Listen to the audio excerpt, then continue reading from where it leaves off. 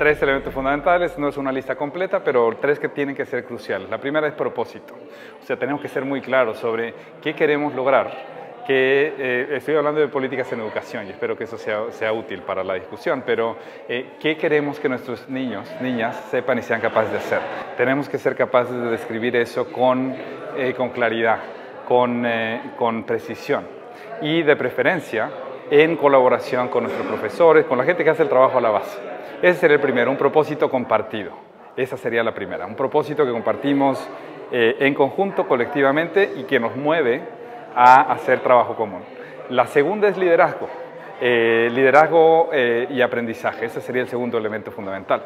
Lo que sabemos es que los líderes más eficaces, los líderes más, eh, más efectivos, son aquellos que aprenden con la gente con la que trabajan. Independientemente que estés en la sala de clases, en la escuela, en un sistema educativo, un líder eficaz aprende con la gente con la que trabaja un sistema educativo efectivo aprende con sus escuelas, un director escolar efectivo aprende con sus maestros, un maestro efectivo aprende con sus estudiantes. Y entonces lo que uno necesita como elemento de políticas públicas, eh, eh, eh, mecanismos a través de los cuales la gente pueda liderar y aprender. y el, tercer, el tercer elemento fundamental sería la capacidad para hacer las cosas, crear capacidad. El propósito por sí mismo es insuficiente si no creas la capacidad necesaria para alcanzarlo. Y en particular, la capacidad para trabajar de manera colaborativa. Esa sería la más importante, es decir, colaborar bien lleva trabajo.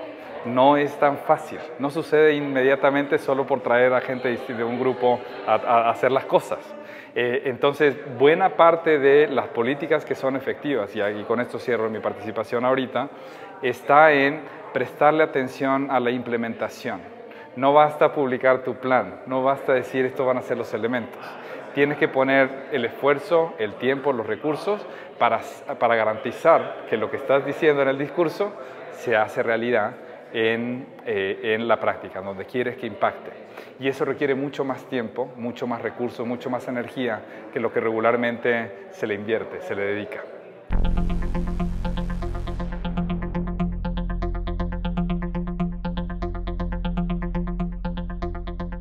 el cambio viaja a la velocidad de la confianza.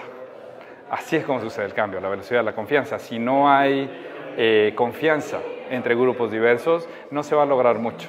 Entonces, lo que, lo que nos corresponde hacer como líderes, independientemente del lugar que, en el que estemos, es eh, encontrar puntos en común. En particular en el caso de educación, yo creo que todos estamos preocupados por el futuro de nuestros niños. Y así como papás que están divorciados eh, llegan a acuerdos para, sacar a flote a sus pequeños.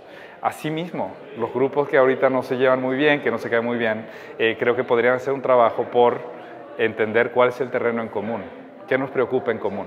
Y estamos en tiempos en los que hay muchas cosas que si no, eh, que si no resolvemos juntos, nos vamos todos al abismo, nos vamos todos al, eh, nos colapsamos todos. no quiere decir que para colaborar tenemos que ser amigos pero al menos tenemos que identificar cuáles son, eh, cuáles son los propósitos que nos mueven en común y colaborar ahí, saber que en otros lados nos vamos a pelear, pero en los propósitos compartidos tendríamos que ser capaces como adultos de movernos en una dirección común.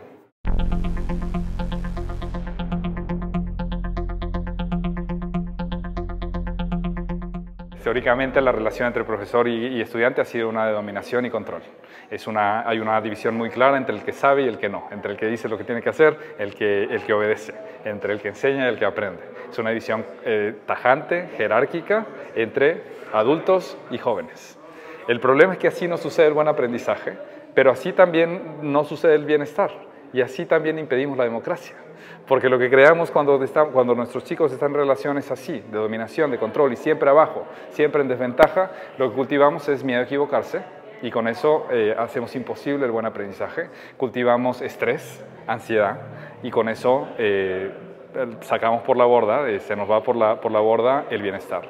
Y cultivamos mentalidades de obediencia, de sumisión, de pasividad que es lo que, es lo que requieren las dictaduras, los regímenes autoritarios, pero no las democracias para crear, para formar, para formar a los ciudadanos del futuro. Si estamos verdaderamente comprometidos con la democracia, con el aprendizaje, con el bienestar, lo que necesitamos es vínculos en los cuales estos tres elementos, estos tres elementos florecen.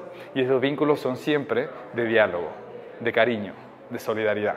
Aprendemos mejor cuando estamos en diálogo con alguien más.